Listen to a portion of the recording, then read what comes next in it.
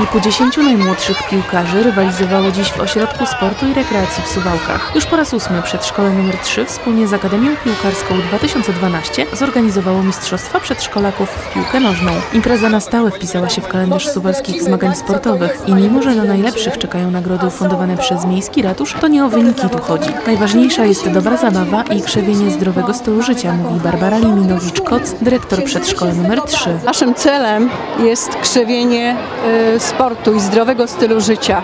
Bardzo nam zależy, żeby dzieci miały, były również zainteresowane y, sportem, jak też i tą tężyznę swoją fizyczną rozwijały. Wszystkie przedszkola uczestniczą i również zaprosiliśmy do w tym roku Zielony Zakątek. Młodzi sportowcy, mimo że swoją przygodę ze sportem i futbolem dopiero rozpoczynają, mają już swoich idoli. Niemal każdy chce w przyszłości być drugim Robertem Lewandowskim, który swoją karierę rozpoczynał również od podobnych turniejów.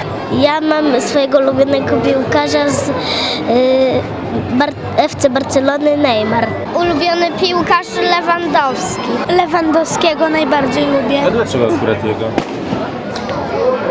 Nie wiem, ale go najbardziej lubię.